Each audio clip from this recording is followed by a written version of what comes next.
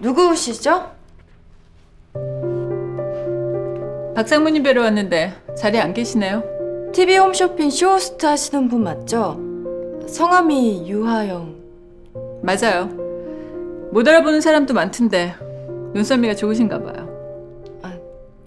근데 박상무님이랑은 무슨 일이시죠? 네? 저기요. 우리 박상무님이랑 어떤 사이인지는 모르겠지만요. 우리 박상무요? 이 회사 굉장히 가족적인 분위기인가 봐요. 뭐가 그렇게 우스우세요?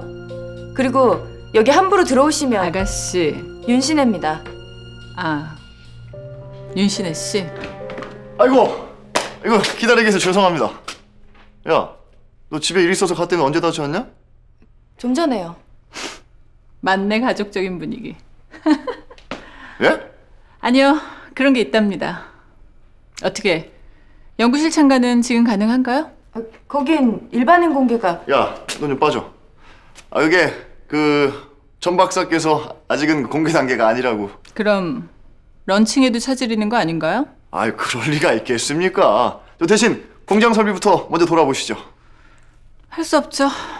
공장은 지금 볼 수 있는 거죠? 아이 그럼요 야 나 바로 퇴근할 거니까 너도 알아서 퇴근해라 자 가시죠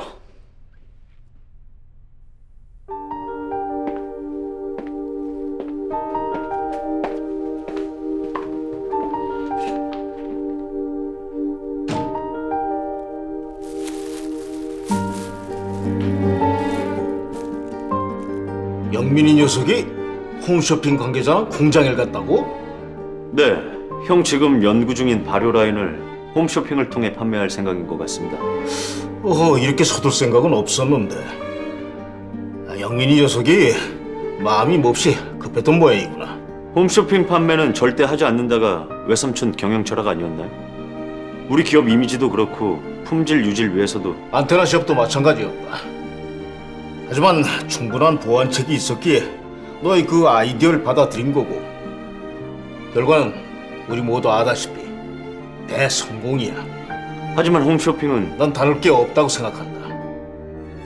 회사 발전과 이미지 제고를 위해 혁신을 외친 건 너였어. 홈쇼핑이 대안이 되지 말란 법도 없지.